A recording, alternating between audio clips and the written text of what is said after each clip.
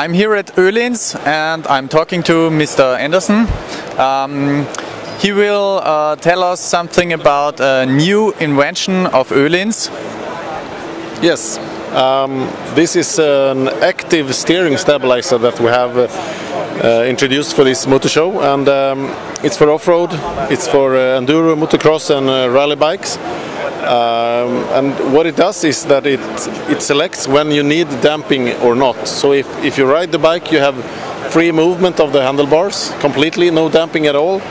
And uh, thanks to a sophisticated system in this housing here on the triple clamp, you will get uh, damping when you get the force to the wheel, like from a stone or, or something like that. Uh, and then when a situation is taken care of by this uh, steering stabilizer, it's, uh, it moves freely again. And it comes like this, uh, included in the triple clamp, and uh, will be on the market for, well, startup production is probably April or May. And uh, this is kind of the third generation of steering dampers. We are proud to announce this here at EICMA. Okay, thank you. Mm, now here we have uh, what we call uh, BMW EC. It stands for electronically controlled, so it's a suspension for, uh, in this case, for the R1200 GS and GS Adventure. Uh, so what you do is that you add some uh, yeah, Öhlins shock absorbers controlled by the bike's uh, ESA system. Uh, so you have a full Öhlins performance taken from the racetrack at the MotoGP and so on, uh, put in the GS, and you have uh, all adjusted by the touch of the ESA button. And uh, yeah, it's the first system for aftermarket. Um, and uh, we had it on the Multistrada, Ducati Multistrada, since a few years now.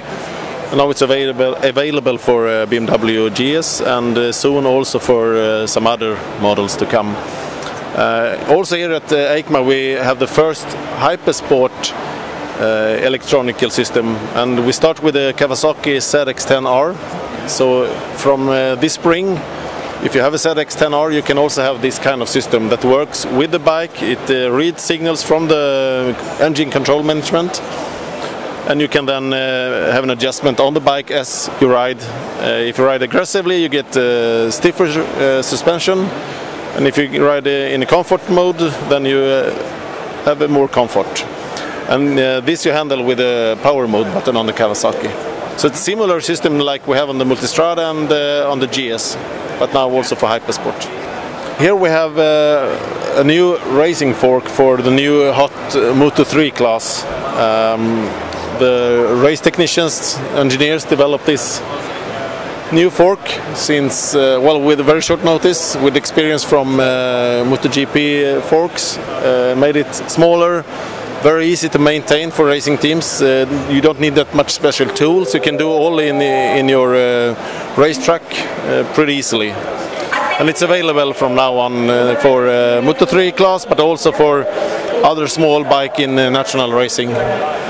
Uh, roughly, I don't have an exact figure, but in Germany, I guess it's about 4,000 euro. 4,200, something like that, and uh, that is a decent price as well for, for this kind of fork. Here we have uh, the new Erik Buell racing bike called L1190 RS, and uh, it's the first time, from what we know, it's in Europe.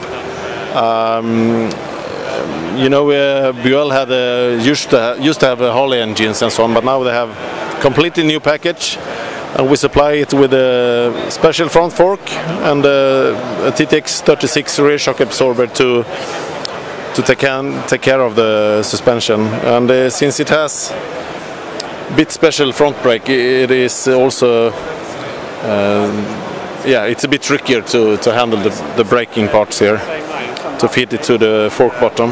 Uh, but we're very proud to have this bike here and uh, a lot of interest from uh, customers passing by. So yeah, nice bike.